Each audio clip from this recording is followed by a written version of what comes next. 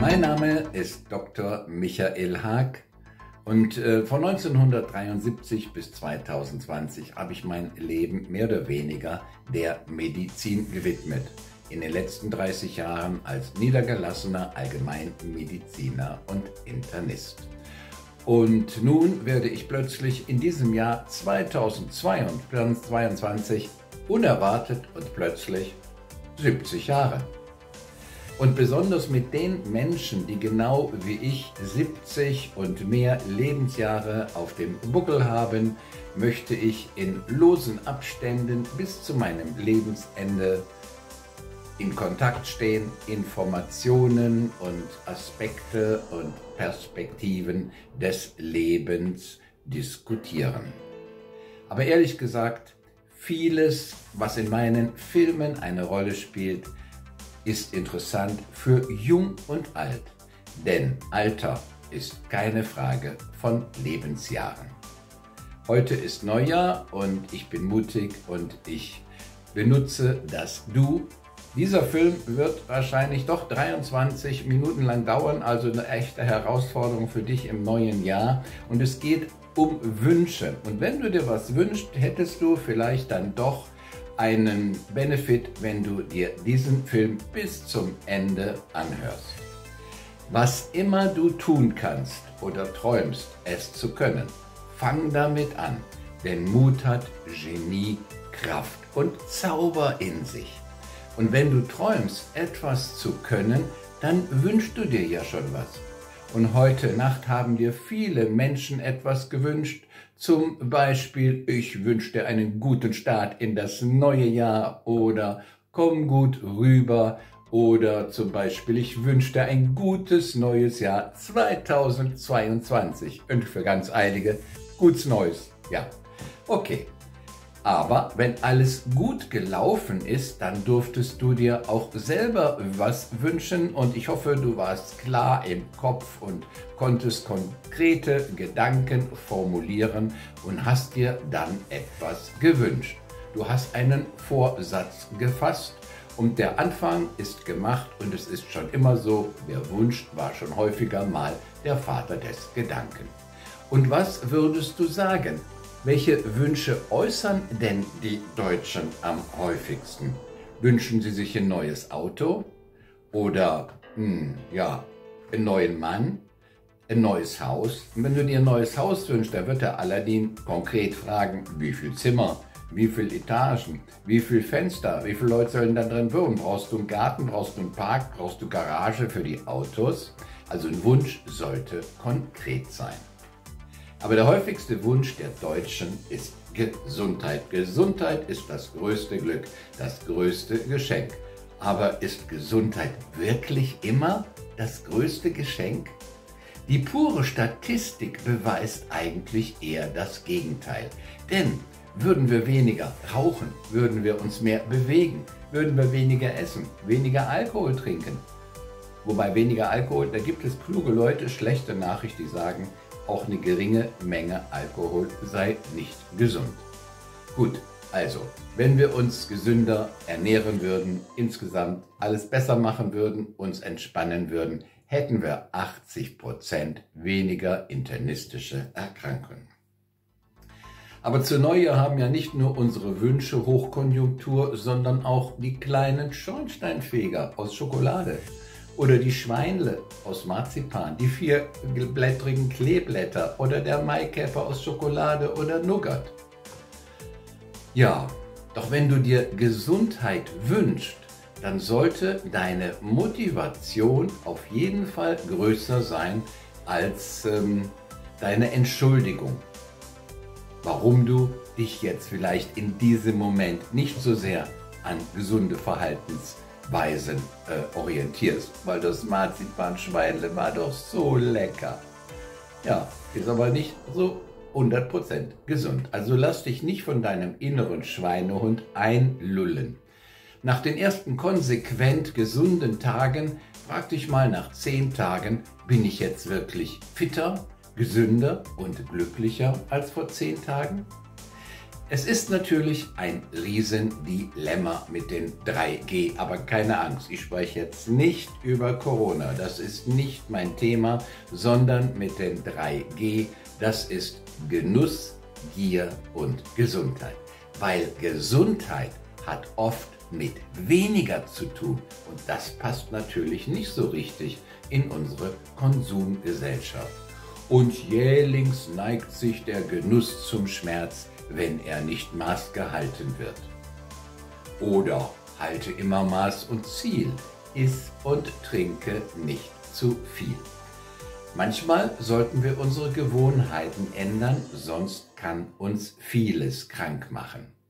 Doch was sagt der Genussmensch? Die größte Behinderung im Leben liegt daran, dass man ständig auf seine Gesundheit achtet. Oder aber nach der Gesundheit zu leben ist ein Elendleben. So was Blödes. Einschränkung von Genuss und Lebensfreude. Das kann ja nur ein Miesmacher, das kann ja nur ein Spielverderber sagen. Ja, und was deine Disziplin und deine Konsequenz bei Essen, Trinken und Bewegung für die Gesundheit ausmacht, das siehst du ja im Moment der Askese, im Moment der Willensstärke nicht. Wenn du zum Beispiel eine Gewichtsoptimierung anstrebst mit Meier-Diät oder mit Intervallfasten oder mit Low Carb, egal. Ja, du leistest also an Hunger und Verzicht und erhältst keine direkte Belohnung. Das sofortige Vergnügen fällt aus. Ja, Hunger und quälende Gelüste statt Lebensfreude, falls du überflüssigen Belast abwerfen möchtest.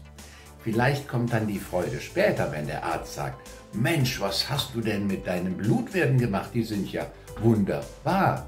Oder aber der neidische Nachbar kommt vorbei und sagt, hm, hey, du siehst aber schlecht aus. Hast du etwa abgenommen? Ja, wir dürfen uns um unser Glück und unsere Gesundheit bemühen. Glück und Gesundheit wird uns nicht geschenkt und ein Unglück kommt ja eh oft von alleine. So doof es nun ist, nur du selber hast die Verantwortung für dein Leben.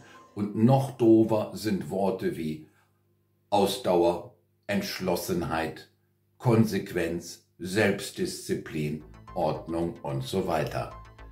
Und ob du nun glaubst, dass es dir gelingt, oder ob du glaubst, es gelingt dir nicht, du hast recht, sagt schon Henry Ford. Also bleib dabei, mir gelingt es, deinen Vorsatz 2022 in die Tat umzusetzen. Schon Aristoteles sagte, Glück ist die Folge einer Tätigkeit. Glück ist kein Schicksal, man darf sich um sein Glück bemühen. Und das schaffst du nur, wenn du deinem Vorsatz Taten folgen lässt. Dann kannst du deine Gesundheit in die gewünschten Bahnen lenken und dein Glück finden. Kennst du das Maß deines Unglücks? Es ist die Differenz zwischen dem, was ist, und dem, was dir, was du dir wünschst. Das ist die Lücke. Ja, das gesunde, aktive Leben ein Quell von Freude und Erfüllung. Und dieses Thema möchte ich jetzt zunächst mal mit einer positiven Affirmation von Louise H. L. Hay aus ihrem 2003 erschienenen Buch Du kannst es beenden. Du bist der einzige Mensch, der Kontrolle über deine Essgewohnheiten hat. Wenn du dich dafür entscheidest, kannst du jeder Versuchung widerstehen. Prima. Also, und wenn man krank ist, Klaus Lange sagt, das Leiden ist keine Strafe, sondern eine starke Ermutigung, in eine andere Lebenshaltung zu kommen. Was lehrt mich meine Krankheit? Was will sie mir sagen? Wie reagiere ich darauf? Aber ich hoffe, meine Zuhörer sind alle gesund, voller Energie und freuen sich voller Neugierde auf das Jahr 2022. Aber das Erstaunliche ist, dass wir noch nichtmals wissen, genau wissen, was Gesundheit ist. Die WHO bietet bezüglich Definition der Gesundheit eine multidimensionale Luxusausgabe an, nämlich völliges körperliches, geistiges und körperliches Wohlbefinden. Und das haben wir nur, wenn wir unsere Lebensaufgaben bewältigen. Wenn wir wenigstens zum Teil die Rolle, die uns die Gesellschaft zuschreibt, bewältigen können und erfüllen können, das, was von uns erwartet wird. Und bei all diesen Aufgaben steht an erster Stelle Selbstverwirklichung und Selbstfindung. Und in diesem Zusammenhang werde ich euch in den nächsten Monaten oder vielleicht Jahren, denn meine Folgen werden in unregelmäßigen, losen Abständen erfolgen bis zu meinem Lebensende, werde ich euch immer wieder auf ein Schlüsselwort von Glück und Erfüllung hinweisen. Und das ist das magische Wort selber. Achtet einfach mal auf den Wortschatz. Selbstvertrauen, Selbstverantwortung, Selbstdisziplin, Selbstbewusstsein, Selbstwert, Selbstliebe, Selbstfindung, Selbsterfahrung, Selbstannahme. Also zurück zum Thema, hört sich alles toll an, völliges Wohlbefinden und das am Neujahrstag nach einer wundervollen Silvesterfeier. Oh, wenn ich bloß nicht so einen dicken Kopf hätte. Ach nein, war jetzt Unsinn, mir geht's blendend. Vielen Dank. Wenn du dir also Gesundheit gewünscht hast und an die Definition der WHO gedacht hast, dann hast du erstmal völliges körperliches Wohlbefinden. Das ist doch klasse. Kein Zwicken, kein Zwacken, kein Reißen, kein Ziehen. Auch der Geist sollte völlig wach sein, und der Geist sollte achtsam sein, konzentriert sein. Und deine Seele sollte völlig im Einklang sein mit sich selber und der Welt. Oder ist es eher so, dass der, der mit 50 aufwacht, vielleicht tot ist, wie Herr Makel sagt? Ist Gesundheit Wohlbefinden? Ist es Kompetenz? Ist es Gleichgewicht? Ist es Homöostase? Ist es ein optimales Funktionieren der Organe? Ist Gesundheit vielleicht eine gesellschaftliche Rolle? Wird Leistungsfähigkeit von der Gesellschaft erwartet? Ist, ist Gesundheit Askese oder Spaß? Welchen Wert hat denn Gesundheit für dich? Sind Gesundheit und Krankheit Pole eines Kontinuums? Gibt es fließende Übergänge und Gleichzeitigkeiten? kannst du dich mit hohem Blutdruck vielleicht krank fühlen oder gesund fühlen? Gibt es beide Möglichkeiten? Ich kenne jemanden, der ist traurig. Ist das eine Krankheit? Melancholie? Ich kenne auch jemanden, der ist immer fröhlich. Ist er krank? Hat's denn nicht mehr alle im Schädel? Ja.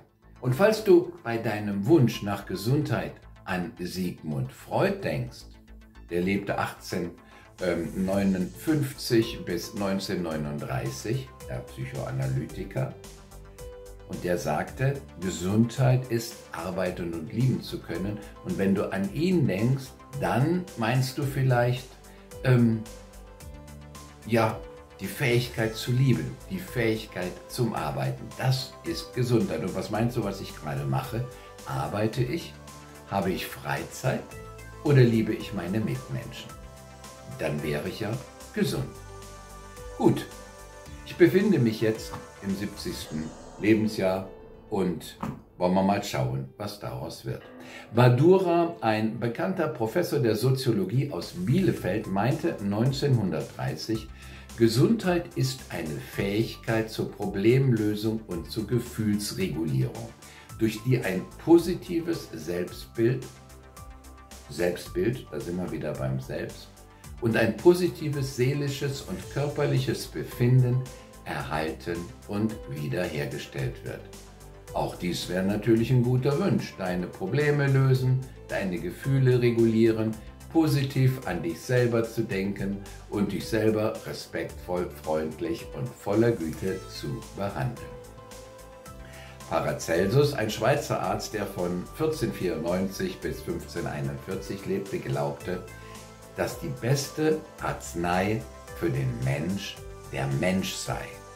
Der höchste Grad von Arznei sei die Liebe.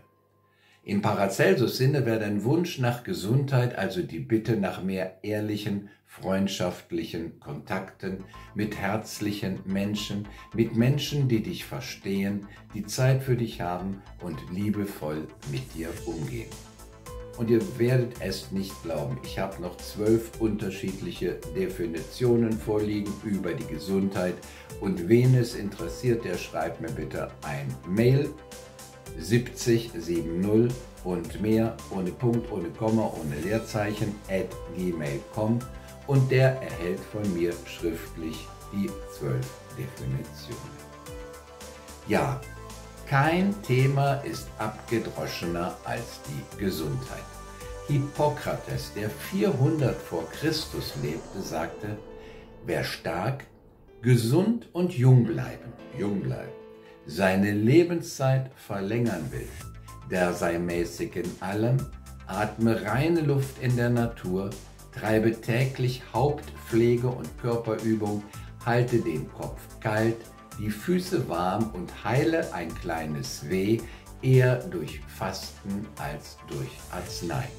Und Pfarrer Sebastian Kneip der ja in Oberschwaben 1821 geboren wurde und 1897 in Bad Wörishofen verstarb, hat sich Gedanken gemacht und seinen Zeitgenossen vor 150 Jahren schon fünf Tipps, Ratschläge oder Regeln gegeben. Erstens die Wassertherapie. Wäre auch mein erster Tipp. Abhärtung durch kalte Behandlungen. Und der zweite Tipp nach den Morgenübungen ja, jetzt will ich mal dein Gedicht, Gesicht sehen. Da denkst du, ja, was will denn der Dr. Haag? Was, ich soll nach dem Aufstehen, nachdem ich das warme Bett der Bequemlichkeit verlassen habe, Morgenübungen machen und dann auch noch kalt abduschen? Ha, da stehe ich ja dann schon dann morgens in der Mitte des Lebens. Also, Morgenübungen und jeden Morgen kalt abduschen. Erstmal das rechte Bein, linke Bein, rechter Arm, linker Arm, dann vielleicht den Rücken, die Brust, den Kopf. Und schon hast du einen Kältereiz gesetzt. Und der beeinflusst positiv das Immunsystem. Wichtig ist der Kältereiz, egal ob 30 Sekunden, eine Minute, zwei Minuten und du wirst dich wohler fühlen. Außerdem wird deine Schwimmsaison verlängert am Bodensee, am Nordsee und der Ostsee, denn du kannst schon bei 16 Grad Wassertemperatur ins Wasser gehen und Freude am Schwimmen haben. Ja, das Wichtigste ist also der Kältereiz. Und das Zweite, was ähm, Pfarrer Sebastian Kneip geraten hat, waren hilf hilfreiche Heilpflanzen. Da kenne ich mich leider nicht so gut aus. Da werden wir vielleicht später noch eine Homöopathin befragen.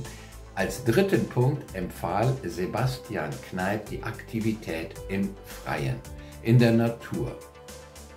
Aber ihr wisst es, zunächst einmal Morgenübungen, kalt abduschen und dann geht's ab in die Natur.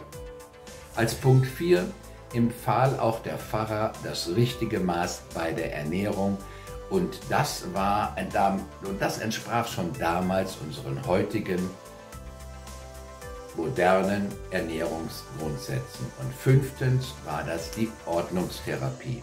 Und das war bei Kneipp die Anleitung zum Glücklichsein. Was wollen wir mehr? Wir wollen alle glücklich werden. Und dann ausreichend Schlaf, ein Akt der Selbstliebe, Aktivität im Freien, klare Ziele im Leben, das heißt eine klare Wertvorstellung. Klare Ziele und Visionen.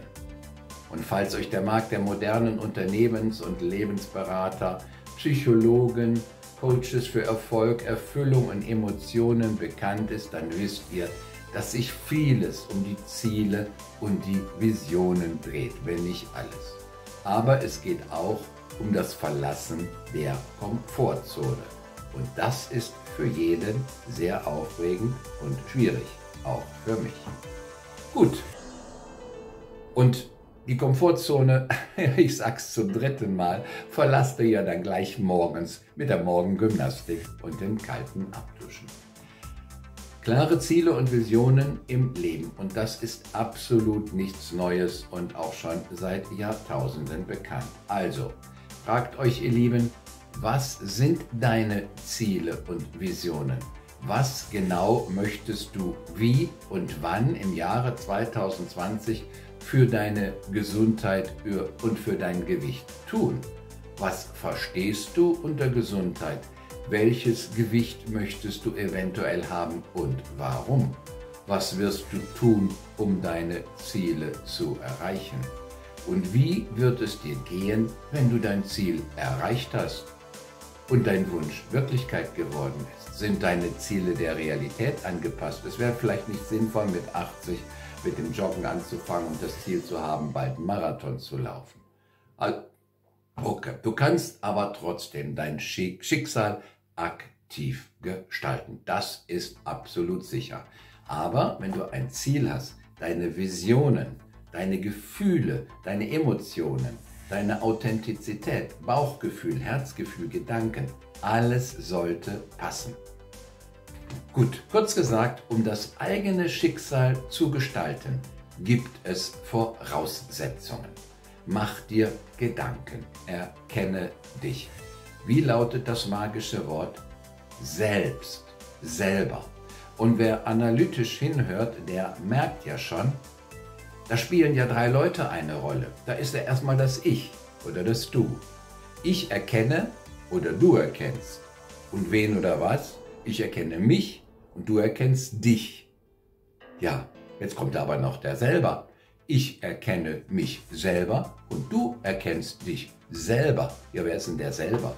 Und du kennst ja schon die Schlüsselworte. Selbstvertrauen, Selbstverantwortung, Selbstdisziplin, Selbstbewusstsein, Selbstwert, Selbstliebe, Selbstfindung, Selbsterfahrung, Selbstannahme und so weiter. Und schon Marc Aurel hat vor 2000 Jahren als römischer Kaiser und Stoiker eine Antwort auf die Frage gesucht, wie soll man leben, um Glück, Heil und Gesundheit zu erfahren. Er lebte von 120 bis 180 nach Christus und schon Marc Aurel, der römische Philosophenkaiser, riet seinen Zeitgenossen, erkenne dich selbst. Gnosis, Erlösung durch innere Erkenntnis. Und dazu wirst du im nächsten Film ein steinaltes Gedicht hören. Mein Plan wäre, das im Freien, in der Natur zu rezitieren und zu interpretieren. Frei auch nach den Ratschlägen von Hippokrates und Pfarrer Sebastian Kneip. Du interessierst dich dafür, wie du unabhängig von deinem Alter Leichtigkeit, Glück und Gesundheit in dein Leben vertrauen, integrieren kannst. Ich lade dich ein in meinen Kanal 70 und mehr. Hast du Anregungen oder ein Feedback? Hast du sonst Kommentare? Über alles werde ich mich freuen. Und nun wünsche ich dir alles Liebe und alles Gute für das Jahr 2022 und ich freue mich auf ein Wiedersehen. 2022, das Jahr, in dem ich 70 werde. In diesem Sinne, gutes Neues. Ach ja, aber wenn du so bleiben bist, bleiben willst, wie du bist, noch besser. Vergess alles, was dich nicht froh und glücklich macht. Und vergesse auch nicht, den neuen Kalender aufzuhängen.